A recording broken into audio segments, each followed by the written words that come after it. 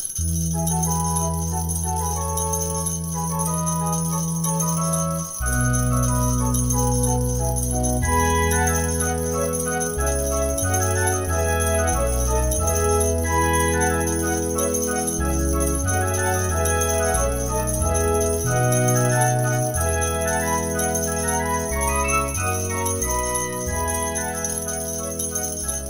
Here we are at USO at Hartsfield-Jackson International Airport awaiting the big event, Operation Holiday Block Leave.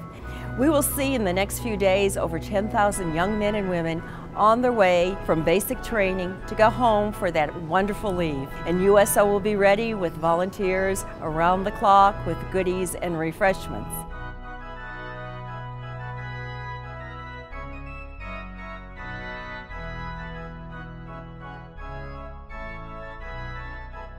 So it's, uh, what is it, about 2.30, 2.40 in the morning. And so we started uh, around midnight. And so we got a group of volunteers that are really working around the clock. Uh, started at midnight tonight, and I think they'll be going all the way through, uh, through the rest of the day and into tomorrow. I think it's, uh, honestly, it's kind of the look on their faces uh, as, as, they come through. They, they definitely look anxious to, to get home. but it's, it's neat to be able to see and, and connect with them for just a second to say thank you and, and, and let them know how much we appreciate their service.